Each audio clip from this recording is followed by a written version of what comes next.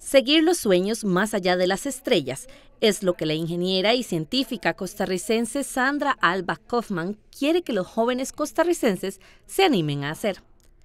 Kaufman visitó el auditorio de la Ciudad de la Investigación para compartir con estudiantes, docentes y público en general datos sobre la misión MAVEN, la cual ella lidera. Dicha misión pretende estudiar la historia climática del planeta Marte.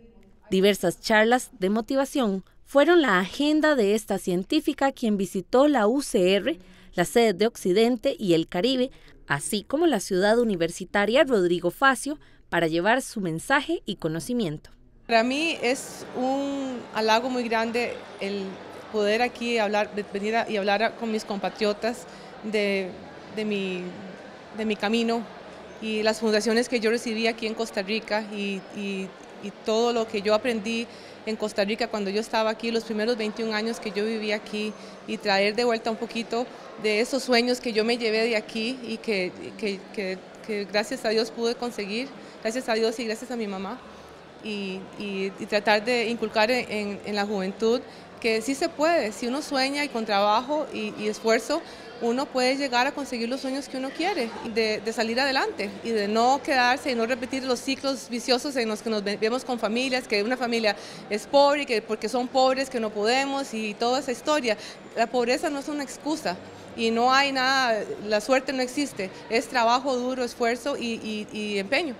Su visita se dio gracias a una coordinación con el MISIT, la UCR, el Colegio Federado de Ingenieros y Arquitectos y la NASA. Y básicamente uno podría decir que hay tres aspectos fundamentales en la visita de ella que uno se puede destacar. Primero que nada, el potencial que tenemos los ingenieros, los ingenieros y las ingenieras costarricenses de poder llegar a trabajar en los mejores lugares del mundo como es la NASA. En segundo lugar, es muy importante desde el punto de vista motivacional también, todos nuestros niños, nuestras niñas, nuestros jóvenes que se pueden dar cuenta de cómo se pueden lograr los sueños, cómo se pueden alcanzar los sueños, poniendo esfuerzo, dedicación, trabajo, disciplina. Y tercero, y muy importante también, las posibilidades que al país se le abren desde el punto de vista de entrar en el campo aeroespacial. Me parece que tiene dos valores principales o dos razones. Uno es el, el valor eh, meritorio de ella. Está liderando un proyecto eh, del más alto nivel científico a nivel mundial, referente con una sonda espacial a Marte, que ya está a mitad de camino.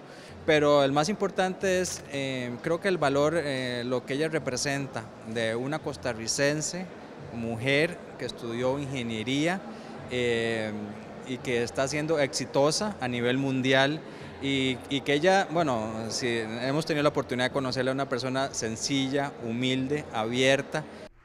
El mensaje principal de su gira lo dirige a los jóvenes estudiantes para que alcancen sus sueños. el mensaje es que sigan estudiando y que saquen sus grados y si se dan cuenta de que lo que están estudiando no, no es lo que les da pasión, cambien. El cambio es bueno a veces, ¿eh? porque uno está, si uno está haciendo lo que a uno no le gusta, y sigue el resto de la vida haciendo lo que no le gusta, pues, este, pues puede llegar a una persona muy aburrida. En cambio, si uno tiene pasión por lo que uno hace y uno sigue soñando y uno sigue esforzándose, uno irradia una, una, una radiación positiva.